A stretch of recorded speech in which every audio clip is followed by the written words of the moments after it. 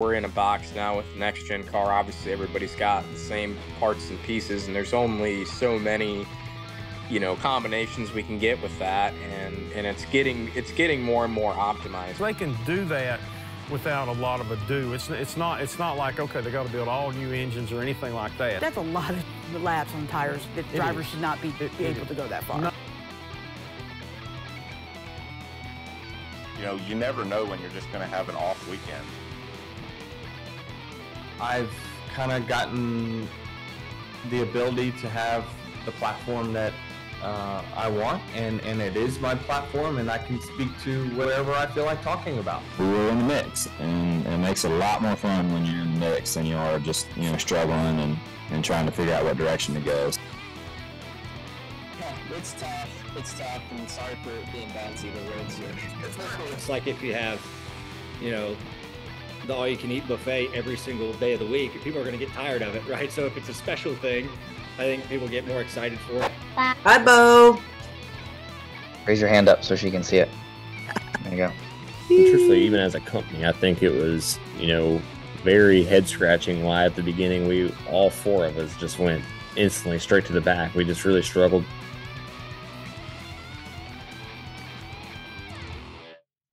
Welcome on to the backstretch. I am News 5's Heather Williams and William Byron. He is on quite a roll this season. He has won three races this year, um, two of which I've been at, by the way. Uh, Christopher Bell might want, might want to watch out.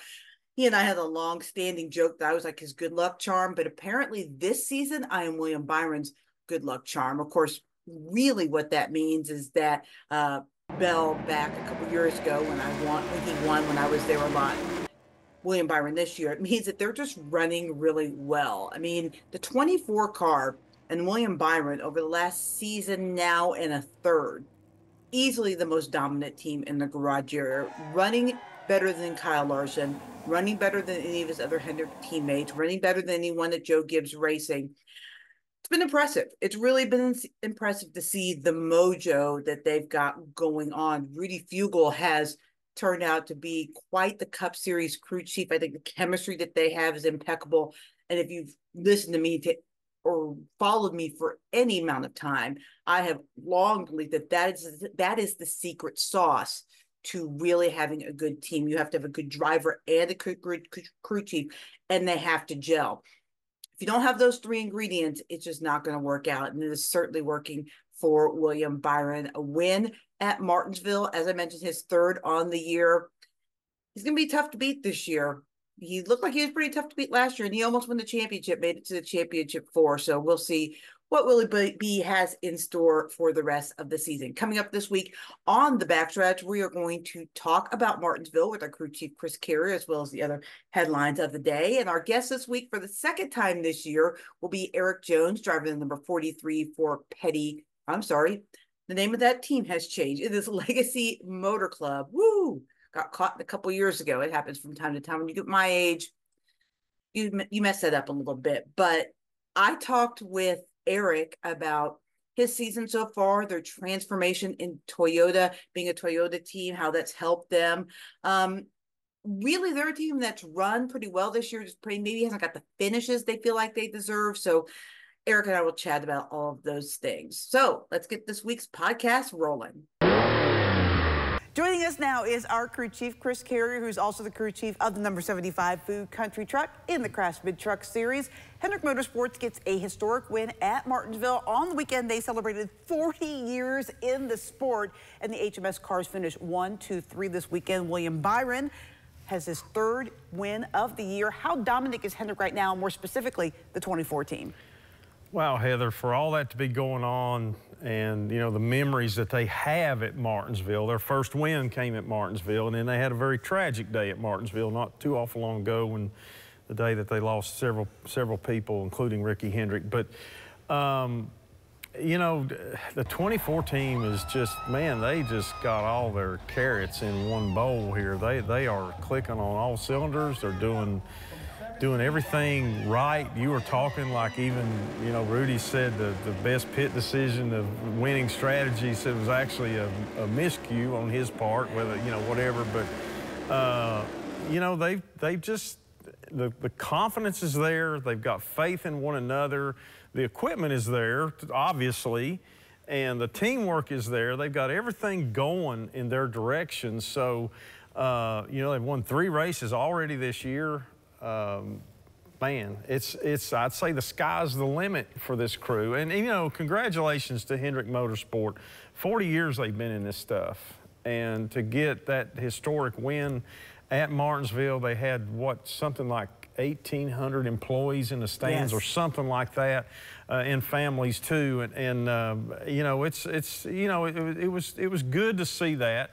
Uh, for that entire organization and Rick Hendrick and people like Jeff Gordon and Chad Knaus who are now uh, management, you know, and, and helping control all this. So uh, it's it's probably going to be a good rest of the year for that team. And, and of course, William Byron will be the one one of the ones we'll see going for the playoffs later in the year. He'll have a spot, and uh, man, uh, right now it's like, man, I'd hate to play him. That's Yeah. for sure. yeah, it's like that team that gets red hot in the season nobody wants to face. Yeah. Usually that's my Chiefs, by the way. Yeah. Uh, Had to throw that in there. Yeah. Uh, there are still some grumblings, though, about the short track package. NASCAR says it is working on a fix. If you were in NASCAR, how would you fix it? Well, the, seems to me like there's a lot of chatter from the drivers and other people that maybe you give, you know, put more horsepower in these things, which they can do that without a lot of ado. It's, it's not it's not like okay they got to build all new engines or anything like that. They can make some adjustments with the, the tools that they have in their hand to to tune these motors and and make it to where they can make more horsepower or limit the horsepower. So it's in their hands. It's a question of like, okay, what's the cost going to be for the teams and the engine builders, so on and so forth. That if we do this, what's going to be the actual cost, and we want to keep that under control. Um, Denny Hamlin's podcast, I think I, I, I listened to about 45 seconds of it this week, but it was good stuff. He said, you know, he explained about at the end of the race, he had new tires, he was back in the pack, he was trying to pass cars. Austin Dillon, or Austin Cindric, I believe, was the one that was kind of up there in front of him, and he said, I was way better than him, and I planned on trying to move him to where I could get up to some people to pass and, and get positions. He said, but I just couldn't get there. He said I could not get to his bumper because my the, the, the package, the, now what they've got now, it wouldn't allow him to get there. And he was pretty pretty vocal about like we need to fix this, and if we don't fix it, it's our fault. I thought that was good stuff. Now, if I agree 100% or not with what he's saying, if he's uh, 100% correct, I'm not saying that, but it was good. It was good food for thought. And yes, I do think they need to do something. If I could wave a magic wand, I'd say let's put let's put another 150 horsepower to these things. Let's give them some tires that will wear out not not in five laps or 10 laps, but maybe at Martinsville 60, 70 laps into a run, they're like, man, I need tires. I can't go anywhere. I'm going to have to come pit. I'm running so slow. I think all that right there would, would, would produce maybe some more passing. It would be like a watered down version of what we had at Bristol. Right. And what we had at Bristol was one thing about it was there was a lot of passing. Well, you know, in Martinsville, Joey Logano didn't change left side tires for for the first two stages. He only put Mhm, on right, right. and almost made it two full stages. And I think with about 15 laps to go in the final stage, he started losing those tires and fell through the field. But that's a lot of laps on tires that It drivers should not be, be it able is. to go that far. No, I, I think that you know the, the uh, what, what a lot of people like Denny Hamlin are thinking right now that it that the the art of being able to take care of your tires and still race hard and still get to the front and stay in the front, but do it for a, a longer time and then say, okay, I got to come get tires and go. That that art of being able to baby them a little bit is kind of gone. And he made a good point. He said, you know, now the cars are all the same. We're all doing the same things. And he said, the drivers, there's so much, you know, there's simulation and so much data available. He said, we all drive the same. So he said, you know, if, if the cars stay the same speed, how are we ever going to have passing in real racing? To be fair on Denny Hamlin liking the tire management, of course he did, as he reminded Sure. me in Victory Lane at Bristol. I won doing this, so of course he's going to like that solution. But it is a good point. I mean, something has point. to be done for sure. Yes. Uh, we mentioned Joey Logano.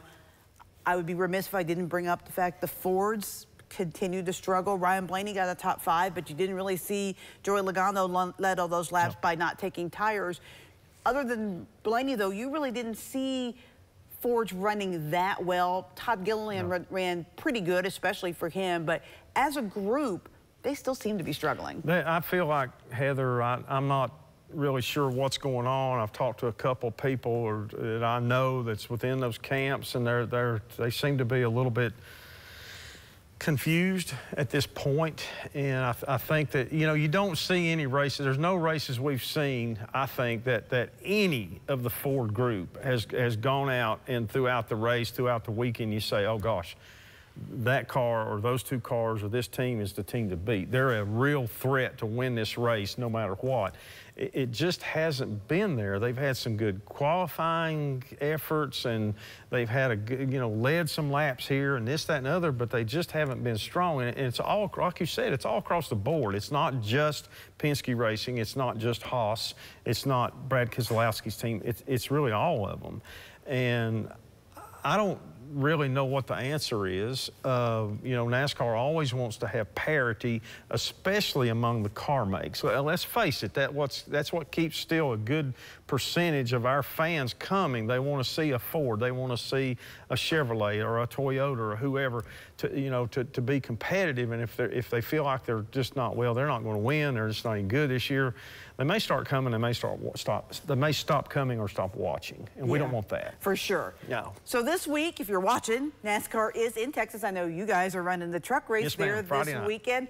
How do you attract attack the big tra track well, in Fort Worth? This is a, this is a mile and a half track, but it's not your your basic uh, uh, granddad's cookie cutter mile and a half track. It's it. Uh, I guess maybe two thirds of it is or so. The the the third and fourth turn is is pretty much wide open, like for trucks anyway. Uh, pretty much wide open. It's got some banking. It's uh, uh, normal configuration. Uh, it's pretty fast, and, but then you get down at the end of the front straightaway, the dog leg, the front straightaway, and go in turn one and two. It's it's very flat. It's it's not. Um, like nice and round. It, it, it is not symmetrical. So you go in there and, and it's, uh, you know, it's a little bit hard to turn and you get to a point now you got to turn more and it's right at a time when you're trying to throttle up and go down that backstretch, get some speed down the backstretch and, and get your lap time. And, you know, the wall comes up pretty quickly. Uh, I understand this week, too, they are not going to use any track treatment. So that's a little different. We'll see how that plays out and also plays out with the tire wear also, you know, with this race. So there's a few uh, tricks and turns to this, little quirks. And I think the weather's going to be good for most of the entire weekend. And we'll, we'll see. There should be some good racing. And there's some teams that, that need to make headway this week. We talked about the Fords. You know, they, they need to start making headway. And some of these racetracks somewhere, like Texas, could be a place where they hit the setup and could be the teams to beat. So we'll see. Thank you for taking the time to join us today, Erik. Um, so we've come off a string here of what two of the last three races have been on the short tracks. A lot has been made about the short track package from a casual perspective, I saw some good and some bad. From inside the race car, what have you seen from this run of, of short tracks? I would, you know, similar. I, I think, um, you know, we we've had, you know, Richmond wasn't a bad race. I didn't think. Um, Brazil was definitely a more challenging race. I think as a viewer. Um, so yeah, I mean, we obviously switched up the short track package this year with the diffuser and tried something different there, and you know, I think it's helped a hair. Um, I don't. I think it helped at Richmond. I don't know if it really helped at Martinsville. Um, you know, I, I think Martinsville is more challenging in some ways. That the aero isn't probably as effective. It's more of a a tire and a power combination, and you know the shifting and the braking there. So there's a lot of different things. You know, I think we've kind of got to the point now with the aero changes that there's probably not a um, fix all in that world. I think it's going to probably come down to some different different options. You know, we saw at Bristol obviously a pretty unique tire and race from that tire. So I think there's some options there. Going forward, we could take to some more tracks. So you know, we'll see. Uh, obviously, though, there's there's definitely I think some room we we can improve and, and get this short track racing better. has, has, has it become too much parity in, in the sport? I mean, which sounds crazy to say, but I look at the drivers and I see 25 drivers that are all very talented, capable of winning easily, maybe more than that each week. All the cars are, are so similar now. All the teams have really stepped up their game. Should NASCAR maybe let people go back to adjusting on their cars? To is it would that be a fix? I mean, I look at you guys as a perfect example because I mean your team is just as capable as anyone, but it seems frustrating because you can't pass or get around people to show it.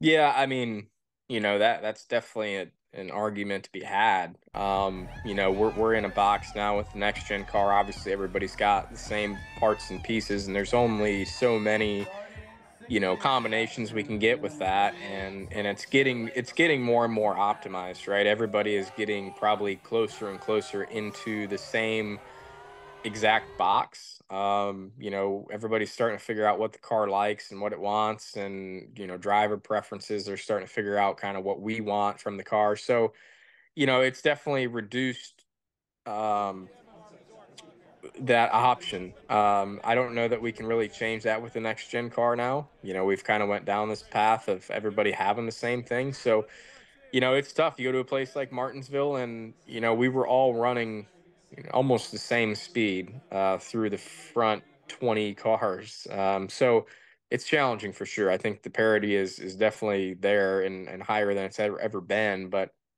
it's made the racing challenging for sure. So this sounds weird given where we were three or four years ago. But are you excited to go to Texas? Because this car seems to put on much better racing at tracks like Texas. Yeah, I mean, I'm I'm looking forward to it. You know, multiple reasons. One, you just mentioned this car is just better on these mile and a half tracks, and you know, puts on better racing. Um, Texas has been good to us. We ran really well there in the fall race. We didn't get to finish, but we were, you know, a top two car all day on speed. So um, that's exciting going back. You know, when you're going back to a place that you've ran well in the past and had speed, you, you look forward to that and hopefully carrying that on. But, you know, I think it's going to be good. Actually, Texas has put on some good races with this car in the uh, in the last couple of years compared to what what we had with the old car. I, I think so. Um, I'm looking forward to that, and and hopefully we have the same kind of speed we did again. And um, you know, we've only had really the one mile and a half this year in, in Vegas. So it's uh, I'm looking forward to just getting back on another one. How's the transition to Toyota been for you guys? I look at you and John Hunter and I see speed. I see you guys are are having good runs. Kind of you in 2311, I see kind of the same thing, just not the finishes you probably have deserved this year. Do you feel like you're you're maybe this close to getting to where you want to be? Yeah, we're you know, we're we're getting there. We um the 43 team, we we definitely didn't get some finishes we um, where we ran uh, early in the season, and and now these last couple of weeks we've put together two two good races, two races where we we ran where we were capable of. Um, you know, we ended up 14th, 13th, 14th at uh, at Richmond, and and then 12th at Martinsville, which is which is where we were on speed, and so um, just put together smooth days. And those two tracks were probably pretty high on our list of struggles last year. I think that was probably two of the worst races we had. So it was nice to have uh, improvement from that. Um, so yeah, hoping to just put together another good day at Texas. You know, we've we've just had a lot of changes. Obviously, moving to Toyota, we brought our pit crew in house, so getting those guys, you know, up to speed and comfortable and and pitting well consistently. You know, getting everybody um, rolling on on on all these different fronts takes time, and we're you know I think we're getting there now. There's still some things we've got to sort out and and get better. Um, and, and some of it's just not going to be better till the second half of the year. But you know, I think this this stretch coming up at tracks um, will be pretty good for us. When you're making the transition, because somebody else that I uh, interviewed lately said this, when you're making the transition with so little practice, do you spend some of these races maybe where it's not a great day testing, trying things, um, trying to figure it out, be almost like a practice? Yeah, you know, somewhat. Um, obviously, we're trying to make a good, educated guess on what's going to be um, good and, and drive good and be fast. But you know, the places we've had um, practice, we we we ran better. You know, Phoenix, we had a really good car, and and we were probably going to run top ten till the end. And you know, that was the place we went and tested in the off season. We had a full fifty minute practice session that weekend. So if you can give us an opportunity to get our stuff better, I, I think you know we can do it. Um, but we have to make good guesses and on our sim and and going into the weekend, and that's not you know always easy, uh, especially transition manufacturers and not having you know the data to look back on from years past. We've kind of had to come up with our own and our own offsets to make it work. So you know so that, that kind of goes back to what you know some of the stuff isn't going to get better till the second half of the season and and having some you know data and resources to look back on but you know i think there's there's places for sure we can we can make good educated guesses going in for my final thought today, I want to talk about the short track package. I was in Martinsville. I think I mentioned that um, at the first part of the podcast. And I'll be honest with you, was not as bad to me as Martinsville has been under the next gen car. Um, there were some strategies, some things going a little uh, cat and mouse that made it at least a little bit interesting um, throughout the course of the race. But short track program has got problems. We can't just be making when we're from here to here on where we need to be. We can't just be inching, you know, this much every time we go to a track and expect to have real improvement. You heard Chris talk about it. I'm kind of in the same agreement. I don't necessarily agree with him on the on the point that we should be fixing horsepower, but I do think there should be something with the tires a little more tire fall off. I get it. Goodyear does not want the tires to disintegrate. Bristol, they don't want that again. It made for interesting, exciting racing, but they're trying to sell tires. And when tires don't hold up, they don't want that. But I think there can be a happy median. I mean, none of us expect our tires to last forever. And so why would we expect that in a race? I think we can have fall off in the difference between brand new tires and, you know, 200 lap tires and still, you know, give Goodyear what they want as well. So that's kind of the solution I see. I don't know, you know, Erik talked about it a little bit in his interview. You were kind of boxed in on what we can do with the next gen car. So these are the solutions that are out there. Something obviously has to be done. I love that we're going to Texas this week, which I never thought that I would say just because the intermediate tracks have been so great in this car, but I want to see all the tracks be great. I live three miles from a short track. I want the short track racing to be good. Of the tracks that I get to, most of them are short tracks because you have Bristol, you have Martinsville, you have North Wilkesboro you know, I'm going to North Wilkesboro here in a few weeks, and I'm not that excited about it because I ex- actually expected to maybe be worse than Martinsville. It certainly was last year. Kyle Larson got out front and nobody could get past him. So we'll see. Hopefully, NASCAR will have something up their sleeves. You know, for the most part, uh, they've made some pretty good decisions under the current regime. It's mostly forward thinking and forward moving. So hopefully, they will find a solution for this as well sooner rather than later because I think the biggest thing is that these people are just losing their patience. Like they want they want a solution sooner. Thanks for joining us in the backstretch. We'll see you next week.